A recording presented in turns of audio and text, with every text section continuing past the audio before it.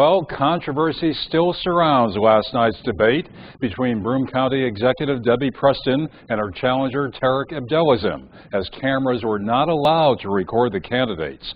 No other debates are currently scheduled between them, leaving plenty of questions. Travis Eldridge reports.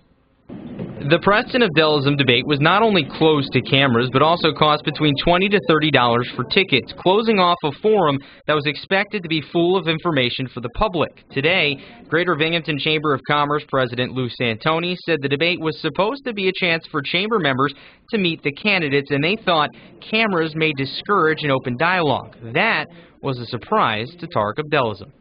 Uh, when I got there, and saw that they then directed all of you to turn your cameras off, I was shocked. If that was up to me, uh, I, that certainly wouldn't have been the case. Adding to the lack of public debate, it's currently the only scheduled debate between the two county executive candidates, an issue the Democratic challenger blames on Preston.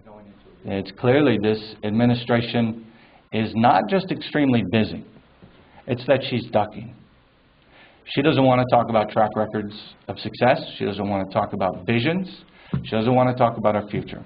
Last night, Preston responded indirectly to questions about another debate, saying she had a county to run, and those comments were echoed in her campaign manager, Bijoy Datta's response today. His statement reads, Debbie has hit the ground running on day one and has kept up a vigorous schedule every day thereafter. She works 12 to 14 hour days for the people of Broome County we will continue to give each scheduling request that comes our way the utmost consideration.